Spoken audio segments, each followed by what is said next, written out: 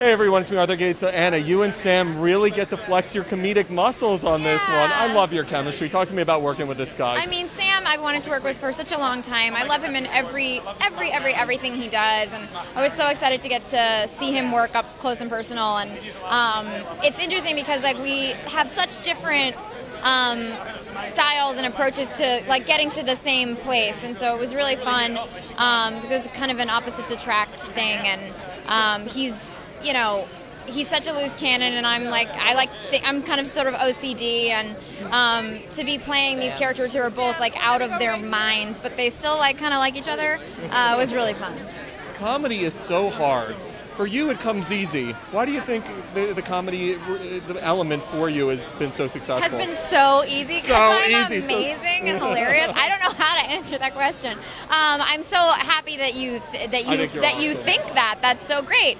Um, but yeah, I wouldn't know. Yeah, it's not. Uh, something that I would readily agree to, like, yeah, I mean, it is easy for me, and it's just, I'm just God's gift, so I don't really know how to answer that. I love you on social media. Oh, I gotta tell you. you. Talk to me about how social media has played for you because I love how you interact with your fans, interact with the public.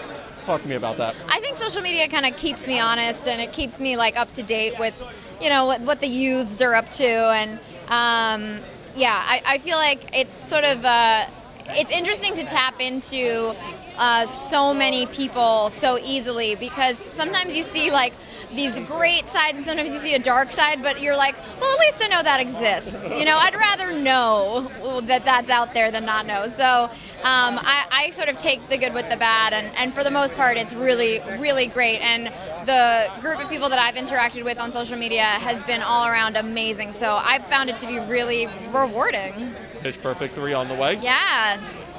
I mean, yeah, I I know as much as you do. I can guarantee you that. I have not. I don't know. Are we robbing a bank in the movie? I have no idea. Anything's possible. Yeah.